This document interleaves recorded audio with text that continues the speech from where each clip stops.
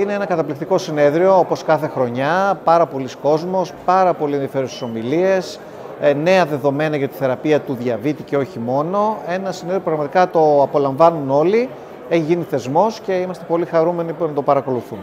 Ε, ζούμε σε μια εποχή που πραγματικά η ζωή μας είναι πολύ πιο εύκολη. Εμείς α, ως γιατροί αλλά και οι ασθενείς μας απολαμβάνουν τα αποτελέσματα πολύ μεγάλων κλινικών μελετών με φάρμακα που τους αλλάζουν το προσδόκιμο της ζωής παθαίνουν λιγότερα εμφράγματα, λιγότερες νοσηλίες για καρδιακή ανεπάρκεια, λιγότερο πρόβλημα με τους νεφρούς, φτιάχνουν το ζάχαρό τους πιο εύκολα, φτιάχνουν τα λιπίδια τους και αυτό τους εξασφαλίζει πιο καλή επιβίωση. Λιγότερες νοσηλίες, λιγότερα εμφράγματα.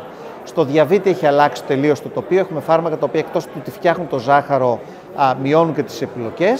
Και στα λιπίδια πλέον έχουμε λύσεις σχεδόν για κάθε είδους δυσλιπιδεμία. Πάρα πολλή έρευνα βέβαια. Αυτό θα παρουσιάσουμε και αύριο στην ομιλία. Ε, νέα φάρμακα που έρχονται για να λύσουν τα προβλήματα και οι ασθενείς μας να έχουν λιγότερα εμφράγματα εγκεφαλικά, νοσηλίες όπως είπα και να ζουν πολύ περισσότερα χρόνια. Έχουμε ανθρώπους οι οποίοι έχουν ζάχαρο και αυτοί οι άνθρωποι πρέπει να πάνε στο γιατρό να έχουν μια τακτική παρακολούθηση πρέπει να ξεκινήσουμε τα πολύ βασικά που είναι η διακοπή του καπνίσματος, η ρύθμιση του βάρους, η σωματική δραστηριότητα, η υγιεινή διατροφή, η μεσογειακή. Αυτά είναι τελείως απαραίτητα, γιατί καμιά φορά τα παραγνωρίζουμε και μετά να πάρουν τη σωστή φαρμακευτική τους αγωγή, να ρυθμίσουν το ζάχαρο, να ρυθμίσουν τα λιπίδια, να ρυθμίσουν την πίεση, ούτως ώστε να απολαμβάνουν μια ζωή όπως και αυτός που δεν έχει ζάχαρο.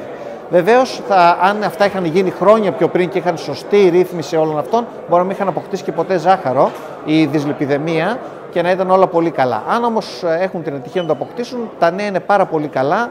Ε, με φάρμακα και σωστή αντιμετώπιση δεν έχουν να ζηλέψουν τίποτα από αυτούς οι οποίοι δεν έχουν αυτή την πάθηση.